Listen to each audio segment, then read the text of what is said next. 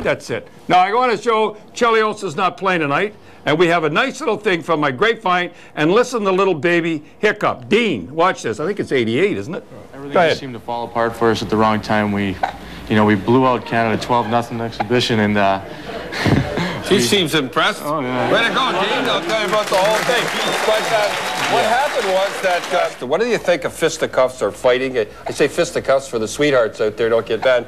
But what do you think about it in the game? well, I think I agree with what Kevin said. It's part of the game, and until they take it out, it's always going to be a part of the game. It, uh, I think it takes away a lot from the stick work because if I think the fighting's out, uh, the stick work might come into to use. So, uh, you know, I it's been there, it's going to be there, and uh, until they take it out, I think, you know, it's it's hockey. You're going to be here a long time, too. And, Dean, we'll see you 2006. First round draft choice for the Boston Bruins. Put it there, Chris. All right. All right. Take some blow. Okay, blow, you ready? That was- that was- Take us home, Blow. Take us home. Take us home. That was Kevin Lowell, Donnie Meehan, Peter Zezel, and on the far side, Garth Butcher, right on the thing.